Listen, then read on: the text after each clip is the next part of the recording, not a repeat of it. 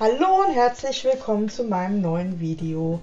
Ich habe heute diese Geschenkanhänger gebastelt und zwar habe ich die mal etwas anders gemacht, in diese Organza-Säckchen gefüllt. Dafür verwendet habe ich fast wieder rein nur Action-Sachen. Und zwar einmal dieses Stempelset aus dem Action-Markt. Dann habe ich das Geschenkband verwendet. Ich habe dieses Schablonenset benutzt.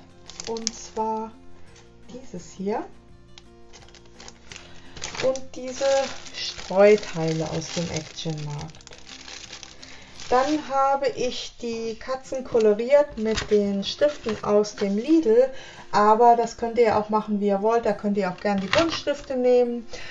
Und ich habe zwei CD-Marker habe ich hier genommen, also wasserfeste Stifte, einmal etwas breiter und einmal ein fein für die Linien und ganz normalen weißen Cardstock. Da habe ich 300 Gramm Cardstock genommen.